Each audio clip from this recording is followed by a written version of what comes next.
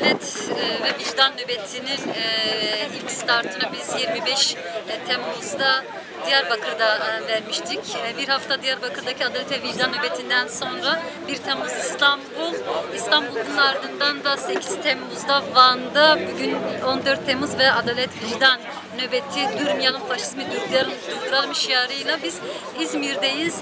E, aslında tüm bu adalet ve vicdan nöbetlerini ne genel yaklaşıma baktığımızda bir e, merkezi kararla etkinliğimizi hem ablukaya alma e, hem bütün demokratik taleplerimizi e, karşısında engeller, sınırlandırmalar e, çıkarma gibi bir e, merkezi yerden koordine ile biz karşı karşıyayız.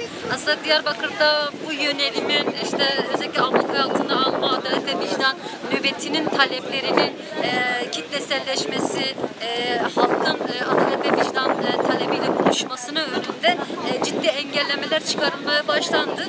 Bunun dozu gittikçe artırıldı. İstanbul'da bir dozaj daha yukarıya taşındı. Van'dan biraz da. İzmir'de e, bir bütünlen olarak aslında karşılaştığımız uygulama, uygulamanın kendisi faşizm olarak tanımlayabiliriz.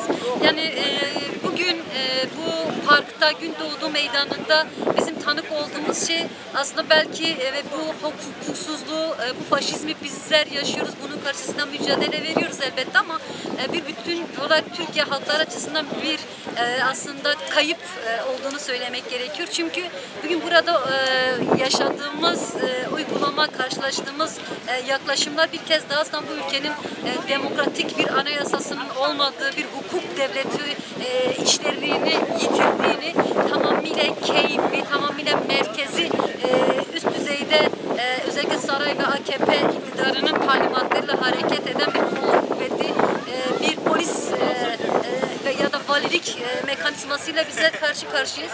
Yani bu aynı zamanda aslında ülkenin durumunun vahametini de e, gösteriyor. E, evet biz bugün bu mücadeleyi halklarla birlikte e, yürütmezsek, bu mücadeleyi yükseltmezsek aslında yarının ne kadar karanlık olacağını da bir kez daha gösterdi. Bugün Doğulu Meydanı'nda yaşananlar. E,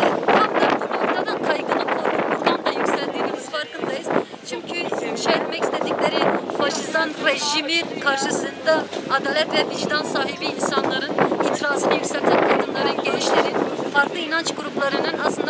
itirazından büyük bir korku duyuluyor. Ee, HDP'nin başlattığı bu nöbetin yani direniş nöbetinin kendisi de e, bu Türkiye'de aslında sessiz e, çoğunluğun sesi, sessiz kitlelerin açığa çıkarmak istediği, haykırmak istediği, durdurmak istenen faşizmin aslında bizler e, temsiliyetini yapıyoruz. Burada bunun siyaseti, bunun mücadelesi, bunun direnişini gösteriyoruz. O açıdan da korkunun bu kadar büyük olması da bizler açısından anlaşılırdır. E, dolayısıyla e, yani belki bizi ablukaya almak e, isteyenler e, bizi e, işte e, sansürleyerek, tecrit uygulayarak kitlelerle buluşmamızı engelleyerek bir başarı sağladıklarını ya da güçlü olduklarını düşünebilirler.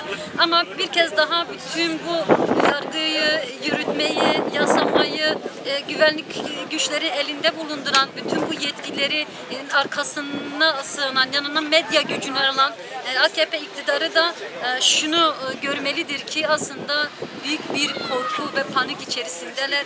Çünkü hiçbir güç hakikati ortadan kaldırmıyor. Kitlelerin, halkların demokrasi ve özgürlük talebini ortadan kaldırmıyor. AKP iktidarı da bütün bu faşizan uygulamalarıyla kaybedecektir. Dünyada binlerce örneği var. Belki en zalimi e, olmak istiyorlar. Hedefleri en zalimi olmak. E, dünyada benzersiz yegane e, tek faşizmi belki organize etmek istiyor olabilirler. Ama dünya tarihinde de insanlık tarihinde de e, bu zulüm yenilmiştir. Onlar kaybetmiştir, halklar kazanmıştır. E, bizler de biliyoruz bu çetin ve e, ağır yönelimler olduğu bu süreçte, bu mücadelede bizler haklarımız e, kazanacak. Aslında bu uygulamalar sadece Gündoğdu Meydanı'nda ya da bu e, son dönemde e, özgürlük ve adalet nöbetinde karşı karşı kaldığımız bir durum değil. İki yıla yakındır Kürdistan ve Türkiye'de e, Cizre bodrumlarından sokak ortasında katledilen e, berkinlere, çocuklara, e, katledilen kadınlara, bedeni teşhir edilen e, kadınlara kadar aslında bu bir sistematik olarak devam ediyor. E, bunun neticesinde demokratik siyasete müdahaleler, tasfiyeler oldu. Eş genel başkanlarımız, milletvekillerimiz, belediye başkanlarımız tutuklandı. Belediye başkanları cezaevlerine atıldı. Ve bugün aslında tanık oluyoruz ki bütün bu yıldırma, bütün bu tutuklamayı bir başarı olarak e, önüne koyan, bunu bir siyaset olarak önüne koyanlar yenildi. Ve bugün e, cezaevine insanları almakla, hapsetmekle yetinmeyip bugün de cezaevinden başka bir provokasyonla karşı karşıya cezaevlerine yöneliyorlar. Başta özellikle Tarsus cezaevi yine bugün İzmir'deyiz. Ee, İzmir'de Şakran cezaevinde özellikle kadın arkadaşlarımızdan, kadın tutsaklardan gelen e, e, mektuplar ya da aileler aracıyla bize gelen başvurularla çok yoğunca hak ihlallerinin yaşandığını biliyoruz. Yine son dönemlerde özellikle AKP Genel Başkanı'nın e, duyurusuyla, aslında kamuoyu paylaşmasıyla bizlerin de gündemine gelen tek tip el- elbise aslında bütün bu politikanın geldiği sonuçtur. Az önce ifade ettiğim bu faşizmin inşa etme girişimlerinin belki en somut ifadesidir. E, bütün faşizmler böyle yapmıştır. İlk önce e, dışarıyı o faşizmi e, uygulayarak insanları hapsederek sonra cezaevlerinde insanlara e, kendi e, tutumları geri adım atmaya, teslim almaya yönelik yaklaşımlar olarak tek tip elbise gelişti. Dünya tarihinde bunun örnekleri çoktur. En yakın tarih belki bildiğimiz e, Hitler'in e, Yahudi soykırımı yaparken e, Yahudilere giydirdiği e, tek tip elbiselerdi. Yine Guantanamo'da e, yine e, Ebu Irak'taki e, cezaevlerinde insanlara giydirilen ve insanlık hafızası utanç olarak kalan o görüntüler e, yine bizlerin hafızalarında taze Diyarbakır Mamak cezaevleri.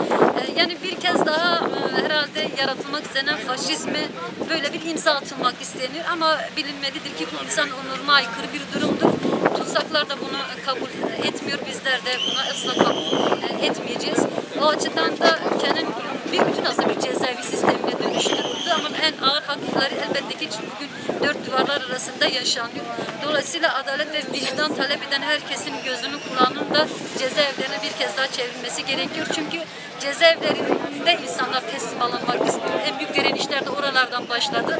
E, bu e, Kürtlerin mücadelesi açısından da Diyarbakır zindan açısından da böyleydi. Orada yitirilmek istenen bir halk gerçekti. Oradan bir kez daha e, direnerek kendini var etmişti. O açıdan da e, bizlerin direnmeye geleneği de en az e, faşizm ve zulüm kadar eski ve güçlüdür.